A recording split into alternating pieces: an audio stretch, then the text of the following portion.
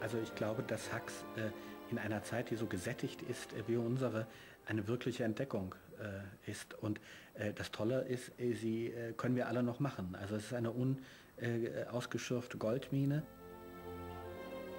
Ja, wenn man das vergleicht mit Grass oder Walser oder den anderen Stümpern, die der Devise folgen, Words don't come easy, dann muss man irgendwann bei Hacks landen.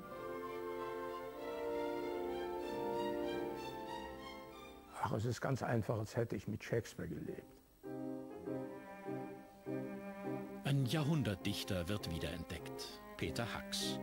Als er vor fünf Jahren in seinem Haus bei Berlin stirbt, ist er fast vergessen. Dabei war er einst der Goethe der DDR. Seine Stücke gehörten in den 60er und 70er Jahren zu den meistgespielten auf allen deutschen Bühnen. Sein Gespräch im Hause Stein über den abwesenden Herrn von Goethe war ein Welterfolg. Es ist die Wahrheit, Stein. Ich habe Goethe abgewiesen.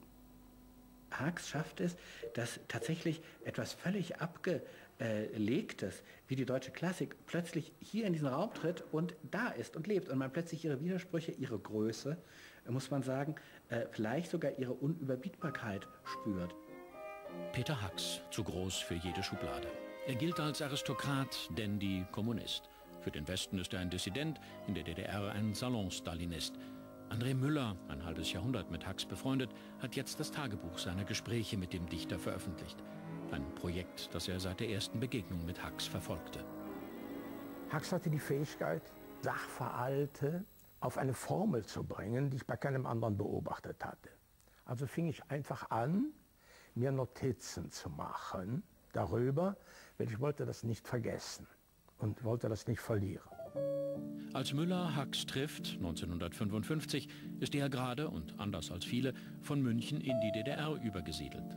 Für das DDR-Fernsehen ein willkommener Propagandaanlass und zugleich das erste und letzte Mal, dass der medienscheue Hacks vor eine Kamera tritt.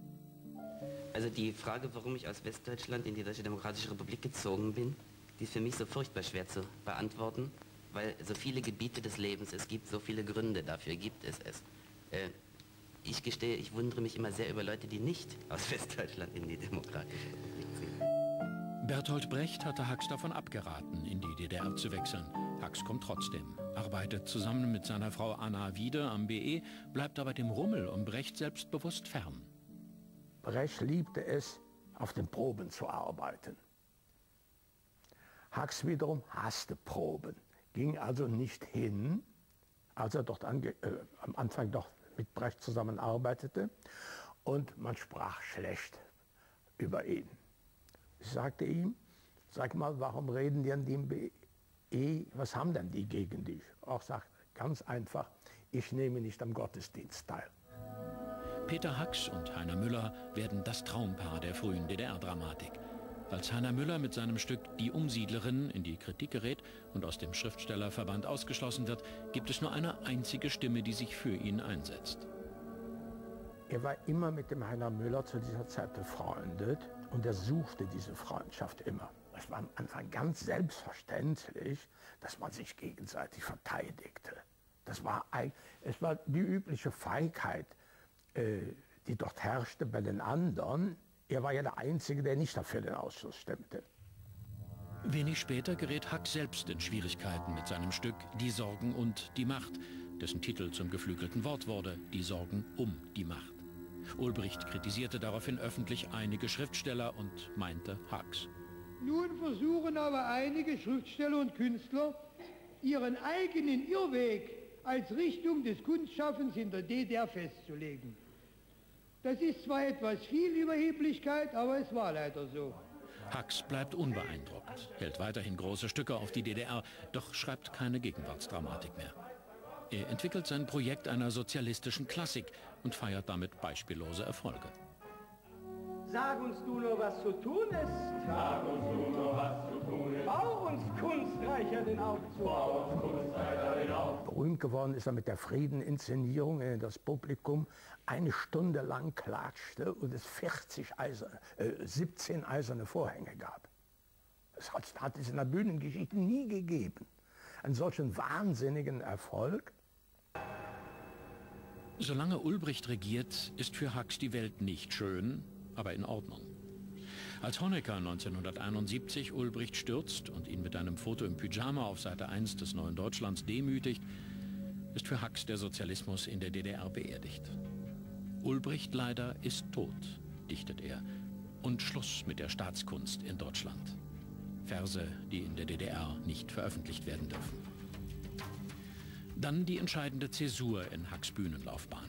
Mit einem Schlag verschwinden seine Stücke von westdeutschen Bühnen. Der Grund? Hacks Name fehlt nicht nur auf der Liste derer, die gegen die Ausbürgerung von Wolf Biermann protestieren. Er erklärt sogar öffentlich, Biermann sei ein überschätzter Kleinkünstler und habe nichts anderes verdient. Daraufhin wurde in der Bundesrepublik Hacks abgesetzt. Er war vorher der meistgespielte lebende Dramatiker. Das war ab diesem Moment schlagartig vorbei. Es hieß plötzlich, das Gespräch im Hause Stein über den abwesenden Herrn von Goethe sei überhaupt kein gutes Theaterstück. Das schrieben dieselben Leute, die es vorher unglaublich gefeiert hatten. Zur Strafe dafür erhält Hacks den Nationalpreis der DDR erster Klasse von dem von ihm verachteten Honecker. Er zieht sich zurück und immunisiert sich immer mehr gegen die real existierende Realität des DDR-Sozialismus, indem er zeitlos schöne Dramen schreibt. Am Ende werden es 50 Stücke sein. Die Wende in der DDR bestätigt ihm düstere Erwartungen und verführt Hacks zu bösen Sortisen und Verschwörungstheorien. Er preist die Mauer als Erdenwunder Schönstes und empfiehlt eine Guillotine für Bürgerrechtler auf dem Leninplatz. Man muss sehen, dass solche Extremaussagen äh, nach 89 äh, natürlich aus der Rolle eines völlig machtlosen äh, Menschen, eines Verlierers der Geschichte äh, formuliert werden. Äh, wenn wir jetzt die natürlich eins zu eins nehmen, wie das in den 70er, 80er Jahren war, dann muss man natürlich sagen, das ist verrückt. es ist auch was Verrücktes in Hacks. Es ist etwas Absurdes in Hacks. Ich plädiere dafür, äh, von Hacks sich das zu nehmen, was groß und bedeutend ist und womit wir was anfangen können. Fünf Jahre nach seinem Tod ist es vor allem die mit Goethe und Heine auf eine Stufe gestellte Lyrik, die wiederentdeckt wird. Das Spardosen-Terzett hat eine CD mit Liebesliedern von ihm vertont. Es ist schon allein aus sprachlichen Gründen wunderbar. Hacks zu lesen und von ihm zu lernen und wenn man das dann anderen Leuten noch ein bisschen weitergibt, nicht aus pädagogischen Gründen, sondern wirklich aus reinem Altruismus, teilen wir diese Freude, dann ist das ein Motiv. Die Hacks-Renaissance, sie hat begonnen.